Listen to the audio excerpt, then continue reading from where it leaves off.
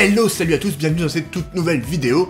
Aujourd'hui, comme on est encore un petit peu euh, enfermé chez nous, un petit peu confiné, je ne sais pas quelle sera votre situation, ma situation lorsque cette vidéo sortira, mais je pense qu'on en a encore pour un petit moment, et donc euh, j'avais envie de faire une vidéo pour vous donner 2-3 conseils pour regarder des communes musicales depuis chez soi sur internet. Donc première solution, assez simple, c'est de prendre un abonnement à Broadway HD. Broadway HD, c'est un petit peu comme Netflix, c'est une plateforme de streaming Sauf que là, c'est que des spectacles, et donc vous avez des pièces de théâtre, mais vous avez aussi des comédies musicales, et c'est ça qui nous intéresse surtout. Et comme c'est un site américain, vous avez que des spectacles en anglais. Donc vous avez Un Américain à Paris, Kinky Boots, She Loves Me, enfin des classiques, des trucs assez connus. Bon, il n'y a pas non plus un catalogue incroyable. Hein. Si vous voulez en savoir plus, d'ailleurs, il y a Renan au théâtre, un youtubeur qui a fait une vidéo dessus euh, où il donne un petit peu son avis. Vous pouvez aller voir ça. Il, parle aussi du prix euh, qui est de environ 10 euh, euros par mois avec un mois d'essai gratuit, donc vous pouvez prendre au moins l'essai gratuit pour voir ce que ça vaut. Ensuite, bien évidemment, il y a d'autres plateformes de streaming qui parfois proposent une ou deux captations de spectacles. C'est le cas par exemple de Disney+,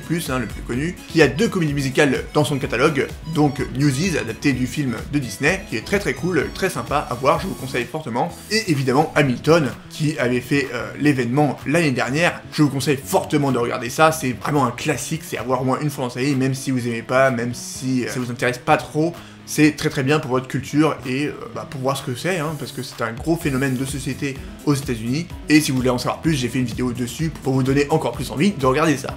Ensuite, je crois que Netflix a 2-3 communes musicales, mais pas en France, donc il faudra utiliser un VPN ou euh, être à l'étranger. Hein. Pour ceux qui sont à l'étranger, je crois qu'en Angleterre et aux États-Unis, vous avez Shrek le musical, qui est très très sympa. Encore une fois, j'ai fait une vidéo dessus aussi. Et sinon, bien évidemment, il y a YouTube. Là, c'est gratuit. Mais bon, là, c'est un petit peu au petit bonheur la chance. Il faut fouiller dans la barre de recherche. Et parfois, on tombe sur des petites pépites comme Legally Blonde, qui est très très cool aussi qui est la captation qui a été diffusée sur MTV il y a euh, peut-être un peu plus de 10 ans maintenant, donc c'est un petit peu vieilli, mais c'est très sympa. En plus, vous avez euh, sur certaines vidéos les sous-titres pour suivre les chansons. Vous avez aussi euh, Shrek le musical qui doit être quelque part encore sur YouTube. Et évidemment, sur YouTube, il y a aussi les bootlegs.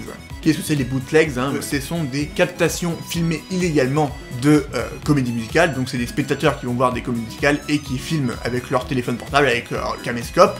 Et on peut tomber sur des petites perles de premières de comédies musicales, de cast euh, méconnus, euh, enfin des choses incroyables. Mais bon, c'est de très mauvaise qualité, hein, comme c'est amateur mais euh, ça peut être très sympa pour découvrir une comédie musicale, pour voir un passage en particulier, comment est la mise en scène, ou pour même découvrir une chanson qui n'a jamais été enregistrée sur un album.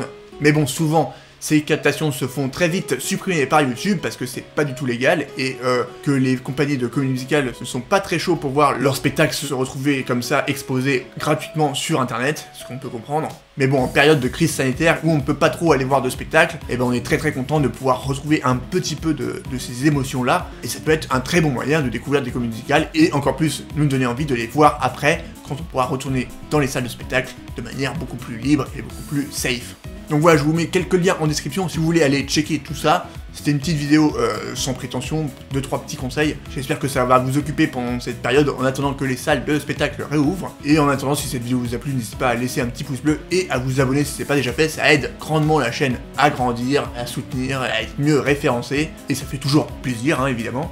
Je vous dis à bientôt pour de prochaines vidéos et d'ici là, prenez soin de vous, regardez des spectacles musicaux, que ce soit sur internet ou ailleurs. Ciao